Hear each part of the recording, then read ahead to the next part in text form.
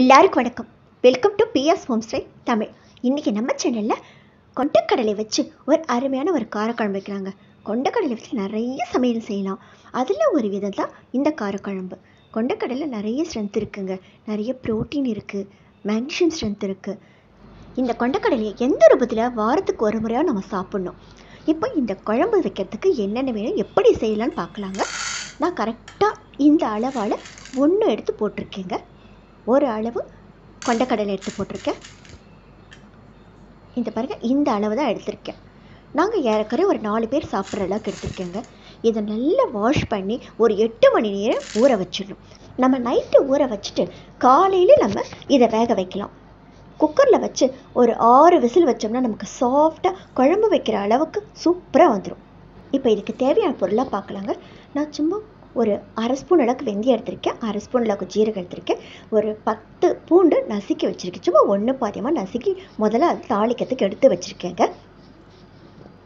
இப்போ கடாயில் ஒரு பத்து ஸ்பூன் அளவுக்கு சமையல் எண்ணெய் ஊற்றிருக்கேங்க இந்த குழம்புக்கு கொஞ்சம் எண்ணெய் கூட இருந்தால் தான் நல்லாயிருக்கும். நான் பத்து ஸ்பூன் அளவுக்கு ஊற்றிருக்கேன் இப்போ எண்ணெய் காஞ்சப்புறம் நான் ஒரு ஸ்பூன் அளவுக்கு வடகம் போட போகிறேங்க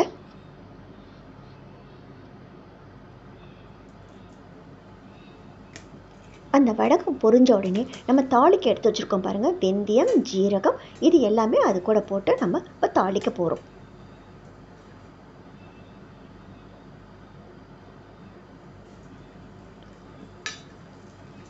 இது பொரிஞ்சப்புறம் இப்போ அடுத்தடுத்து நம்ம போட வேண்டிய பொருளாக நம்ம பார்க்கலாம்.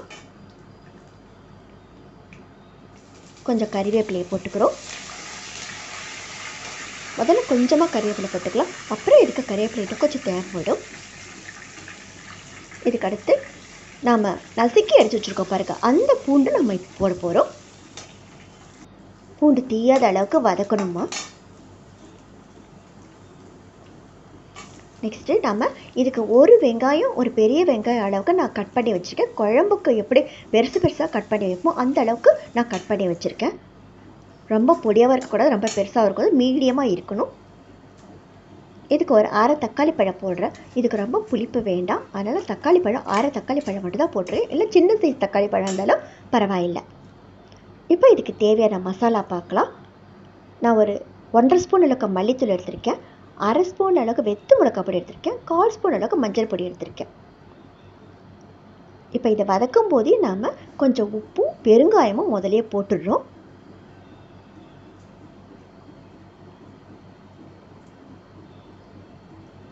இது வதங்கும் போதே நாம் எடுத்து வச்சுருக்க மசாலா பொருளையும் அது கூட போட்டுடணும்.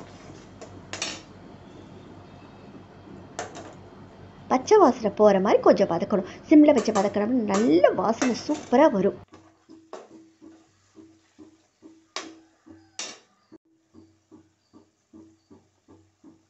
இதுக்கு அடுத்தது குழம்பு மிளகாப்பொடி ஒரு ரெண்டு ஸ்பூன் கிட்ட நான் போட்டுக்கிறேன். ஆல்ரெடி நம்ம வெத்து மிளகாப்பொடி ஒரு அரை ஸ்பூன் போட்டிருக்கோம். அதனால் கொஞ்சம் காரம் கம்மியாக போட்டால் நல்லா இருக்கும். அதனால் ஒரு ஒன்றரை டு ரெண்டு ஸ்பூன் அளவுக்கு போட்டால் போதும். நான் இதுக்கு எலுமிச்சை அளவுக்கு புளி ஊற வச்சு அந்த தண்ணியை ஃபில்டர் பண்ணி எடுத்து வச்சுருக்கேன். இப்போ அந்த தண்ணியை அதில் ஊற்றிடுறேன் இந்த தண்ணி ஊற்றிட்டு நல்லா மிக்ஸ் பண்ணிவிட்டு நாம் கொஞ்சம் நேரம் அந்த குழம்பு கொதிக்க விடணும். அந்த மிளகா பொடியோட பச்சை வாசனை எல்லாம் போகணும் இல்லைங்களா? இப்போ பாருங்கள் நல்லா நமக்கு கொதித்து நல்லா வெந்து அந்த எண்ணெயெல்லாம் நல்லா பிரிஞ்சு வந்திருக்கு பாருங்கள் நல்லா வீடி கம்ம கம்மன்ற அளவுக்கு வாசனை சூப்பராக வரும். இதுக்கு அடுத்தது நம்ம வேக வச்சு எடுத்து அந்த கொண்டக்கடலை இருக்க பாருங்கள் அதை வந்து அந்த குழம்புல சேர்த்துடணும். குழம்பு ரொம்ப கெட்டித்தன்மை இருக்கக்கூடாது கொஞ்சம் தண்ணியாக இருக்கணும்.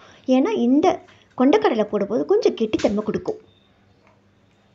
அதை போட்டுட்டு கொஞ்சம் நேரம் ஒரு அஞ்சு நிமிஷம் அப்படியே கொஞ்சம் கொதிக்க விடணும். நாம் அந்த கொண்டக்கடலை வேக வைக்கும்போது ஒரு பாதி அளவு உப்பு போட்டு வேக வச்சா போதும்.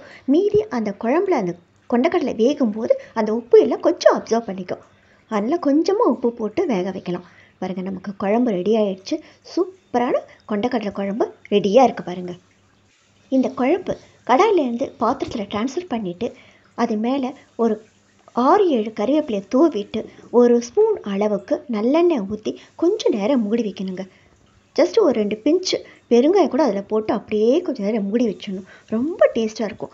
கொண்டக்கடலை சேர்த்துருக்கதால கேஸ் ட்ரபிள் அதிகமாக இருக்கிறதால நம்ம கொஞ்சம் பெருங்காயம் கொஞ்சம் அதிகமாக சேர்த்துக்கிறோம். இது ரொம்ப ரொம்ப டேஸ்ட்டாக இருக்கும். அருமையான காரக்குழம்புங்க இது. சுட சுட சாதத்தில் போட்டு பிசைஞ்சு மைல்டான பொரியல் வச்சு இல்லை அப்பளம் வச்சு சாப்பிட்டோம்னா ரொம்ப அருமையாக இருக்கும். சாதம் நிறைய இழுக்குங்க. இது நீங்களும் ஒரு தடவை வீட்டில் செய்து பாருங்கள் எப்படி இருக்கும் சொல்லி கமெண்ட் பண்ணுங்கள் வீடியோவை லைக் பண்ணுங்கள் உங்கள் ஃப்ரெண்ட்ஸுக்கெல்லாம் ஷேர் பண்ணுங்கள் மறக்காமல் நம்ம சேனலை சப்ஸ்கிரைப் பண்ணுங்கள் தேங்க்ஸ் ஃபார் வாட்சிங்